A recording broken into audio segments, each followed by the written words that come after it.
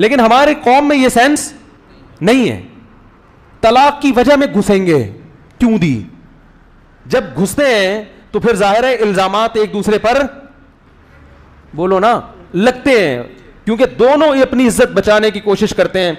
और हमारे मुआशरे का मिजाज लोगों को मालूम है कि अपनी इज़्ज़त बचाने के लिए दूसरे को मुआशरे में जलील करना इंतहाई ज़रूरी है। आजकल जो मार्केट में चल रहा है ना, वो ये चल रहा है कि अपनी इज़्ज़त जब भी बचेगी, जब दूसरा क्या हो जाएगा? जलील हो जाएगा। तो वो इसको जलील कर रहा है और ये उसको जलील कर रहा है। और लोग बैठ के दरमियान में क्या कर रहे होते हैं? फ़िल्म देख रहे होते हैं। तमाशा। अबे उसने ये बोला, अबे उसने ये बोला, अबे वो देखो, अबे वो देखो। भाई अलहदगी हो गई ख़त्म। आप खातून से बोलो मोहतरमा, जब आपकी उससे अलहदगी हो गई, या आप उससे तलाक चाह रही हो तो तलाक लेके अलहदगी इख्तियार कर लो। क्या था, क्या नहीं था, वो आया ना जमायमा खान का, इमरान खान के खिलाफ। मुझे नहीं पता इमरान खान अच्छा आदमी है, बुरा आदमी है, ये मेरा टॉपिक नहीं है, मैं पहले बहुत सारे क्लिप भुगत रहा हूँ। तो मुझे भी लोगों ने कहा कि वो जमायमा खान की किताब पढ़े, उसने इमरान खान के राज उछाले। मैंने कहा, उस खातून से बोलो तेरी को जब तलाक हो गई है तो कहीं और शादी कर, ठीक है ना? तुझे क्या ज़रूरत है? वो कैसा था? और किताब लिख रही थी, उस वक्त लिखती। अव्वल तो उस वक्त भी गलत था। अगर औरत को अपने शोहर के बारे में बुराई का इल्म हो, किसी से मशवरा लेने के लिए बताए, वो तो एक अलग बात है कि भाई ये ऐसे आदमी से जो राज फाश ना करे, वो तो एक अलग चीज़ है।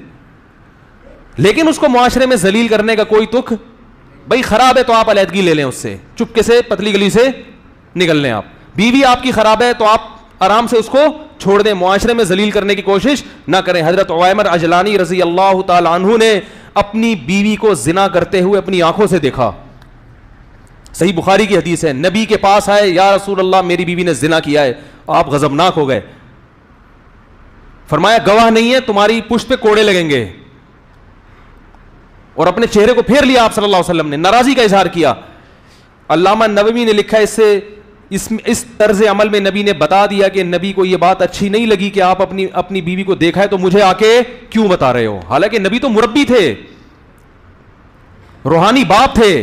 रूहानी बाप को भी इजाज़त नहीं दी जा रही कि अपनी बीवी के जिना के बारे में आप आके बोलो भाई, बताएँ कि ये ऐसी है। अल्लामा नबवी ने लिखा है इसके तहत कि इस सूरत में नबी ने तर्ज अमल ने बता दिया, भाई, आपने देखा है, तलाक देके बोलो भाई, चुपके से उसके रास को फाश ना करो फारिग कर दो, भाई नहीं, लोग पूछे क्या मसला भाई हमारी नहीं बन रही थी आपस में, खत्म। भाई नहीं बन रही थी। क्योंकि अगर उससे बुराई हुई है तो तोबा का ऑप्शन भी है कि नहीं है? यह तोबा का दरवाज़ा बंद हो गया? भाई आपको एतमाद खत्म हो गया। औरत को बिठाए, बोले, भाई देखो, मैंने ये देखा है, अब मैं तुम पे इल्ज़ाम, तुम मुल पे इल्ज़ाम, इससे बेहतर है कि हम क्या कर लें? किनारा कशी इख्तियार कर लें।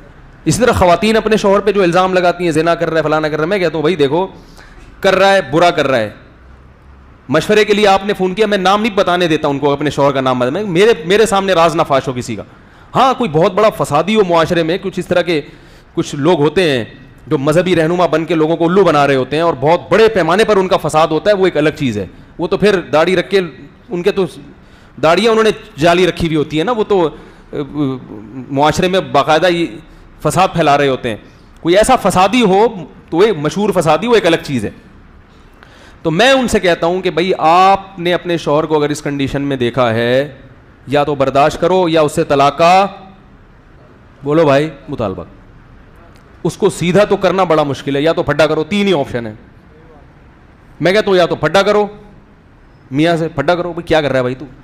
इंसान का बच्चा बन।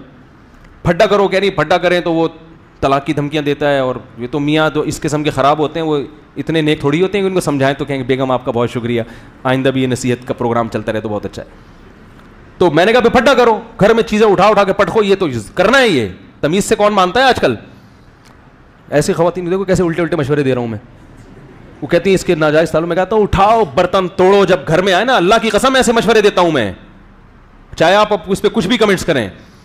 खातून कहती है, मेरा मियाँ के गलत ताल्लुक मैं कहता हूँ, तोड़ दो घर में जितने बर्तन है। आए घर में बोलो, उठा उठा के फेंको, बोलो, ये मैं मैं शरीफ जादी हूँ। बच्चों पे क्या असर पड़ेगा जब उनको पता चलेगा, ये घर में बर्दाश्त नहीं होगा। तोड़ो, फोड़ो, ये करो, ऐसी की तैसी रूट के चली जाओ और अगर ये नहीं हो पा रहा आपसे, आप में दम नहीं है तोड़ने का बर्तन। काँप रही हैं आप, हिम्मत ही नहीं है। तो फिर क्या करो भाई? बसों के पीछे लिखा होता है तप्पड़ तप्पड़ हो तो पास करो वरना बर्दाश्त करो। लिखा होता है ना? ट्रक पूरी सड़क घेर के जा रहा होता है।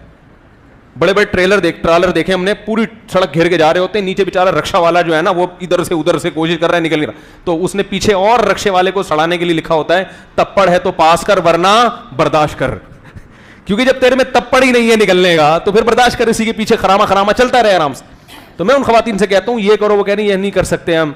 तो मैं कहता हूँ या तो बर्दाश्त करो नहीं हो रहा नाकबिल बर्दाश्त है तो तलाक लेके अलहदगी इसके अलावा आपके पास कोई ऑप्शन नहीं, क्योंकि मैंने कहा इसको जलील करोगी, नुकसान आपके बच्चों का होगा। नुकसान किसका होगा?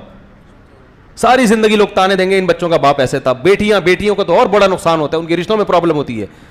और कोई ऑप्शन नहीं है।